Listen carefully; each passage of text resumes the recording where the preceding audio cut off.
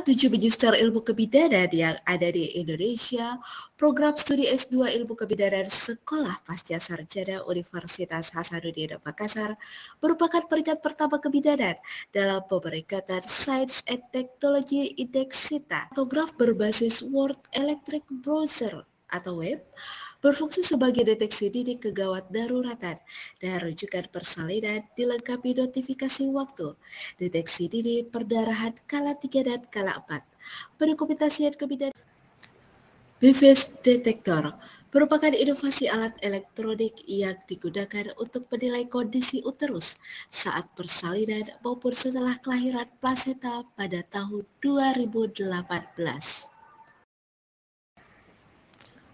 Produk Smart Pumping and Storage Speeds merupakan inovasi pengembangan produk kesehatan dengan desain khusus untuk membantu ibu menyusui yang bekerja dalam memenuhi kebutuhan menyimpan air susu ibu.